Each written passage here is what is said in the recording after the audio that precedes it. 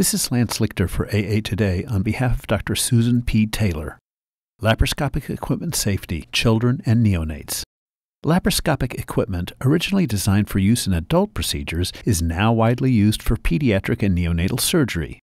As commonly occurs in medical practice, the transition from adult to pediatric use occurs off label and without further investigation into the safety and efficacy of the practice.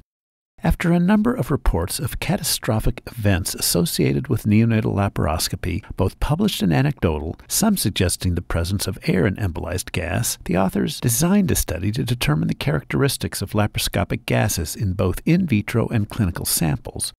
Their work is published in this month's issue of Anesthesia and Analgesia in the article titled gas analysis using Raman spectroscopy demonstrates the presence of intraperitoneal air, nitrogen and oxygen, in a cohort of children undergoing pediatric laparoscopic surgery.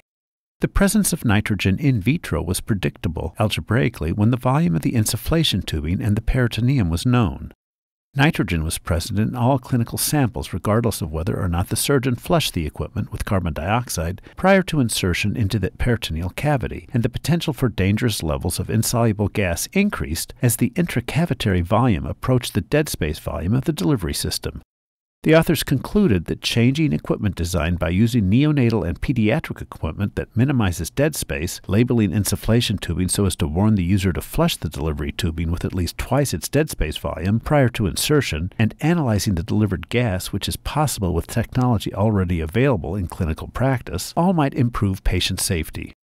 For links and more, go to aa2day.org. That's AA, the number 2, day.org. This is Lance Lichter.